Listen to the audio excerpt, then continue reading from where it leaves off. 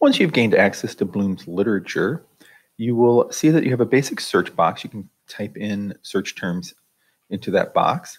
You also have some most highlighted or highlighted studied authors here. You have studied works, studied characters, etc. That's all stuff you can browse. You also to the right have uh, an index for the authors listed in this collection, characters, a work index, and then various essay topics and other resources.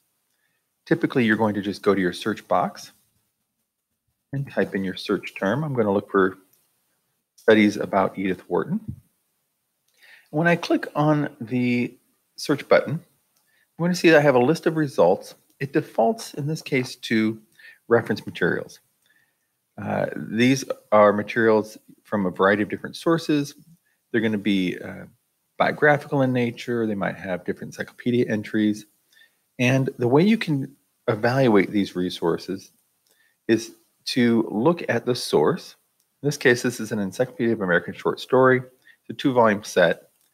And this is going to be an entry that you can click on and, and view. If you're not interested in short stories by Edith Wharton, you may want to skip that one.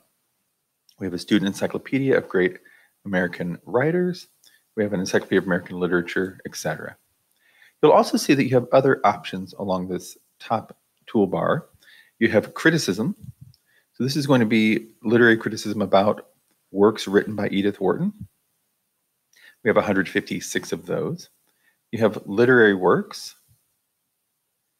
In this case, some of the authors that will be listed in Bloom's are outside of uh, public or they're inside uh, public domain, which means that their works can be displayed in a source like this. So this is a primary source documents, and it has a short story called Experience. You have early short fiction of Edith Wharton. You have some images, timelines, etc. The main area you're going to want to pay attention to is that criticism area. You'll see that to the right, they have some ways to narrow within the last 10, 30, or 50 years.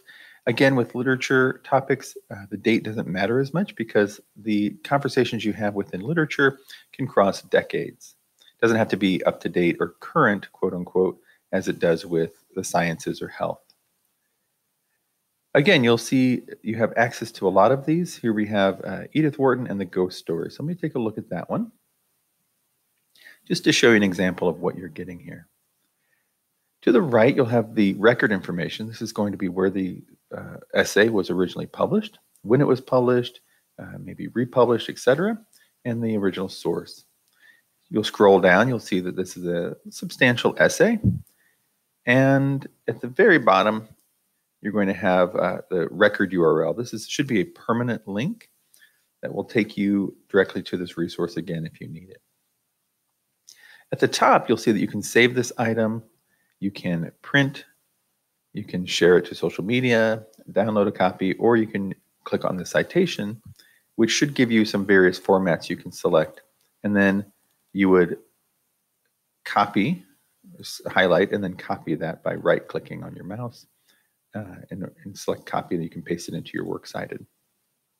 That is essentially the overview of Bloom's literature. You do have some advanced search options you can investigate, but in order to get into the resources, you really just need to know who you're looking for and what works they uh, have written that you're interested in studying. Hope that helps gives you give you a little uh, step into this. And if you have any questions, don't hesitate to contact a Lincoln Land Community College librarian. Thanks a lot.